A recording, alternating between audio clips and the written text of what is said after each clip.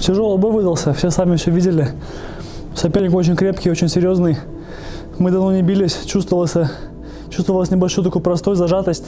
Но есть как есть, считаю то, что мы выиграли бой раздельным решением судей, нанесли сопернику больше урона. Два раза попал, э, взял его на удушающий прием Маконда, и два раза был где-то в маленьком шажочке от победы. Чувствовал уже, как он уже тяжело дышал, и вот-вот не хватило буквально каких-то какого-то угла, доли каких-то секунд, чтобы завершить бой досрочно, но есть как есть, хороший опыт, тяжелый бой. Никогда еще до этого мои бои не доходили до решения судей. Это большой для меня урок, большой бой. Я на этом вырасту, сделаю для себя правильные выводы и пойду дальше.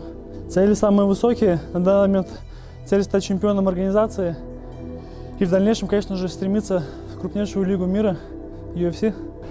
За этой победой стоит просто огромное количество людей. Моя команда, мои тренера, мои менеджеры, друзья, близкие, семья. Просто какая-то колоссальная поддержка. Впервые такой испытывал. Находясь в чужой стране, чувствовал, как страна стоит за мной, за моей спиной. И выходя на бой, уже чувствовал большую уверенность и мотивацию.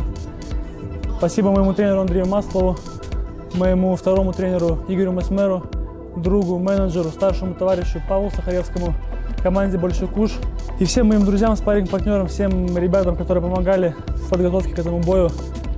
Это ваша победа, а не моя. Ты приехал в стены для своего оппонента и показал невероятно сложный поединок против топового бойца Украины. Какие эмоции, какие слова у тебя?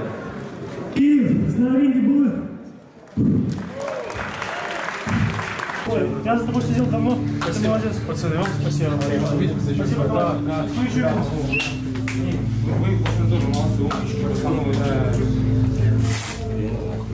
Олег, увидимся.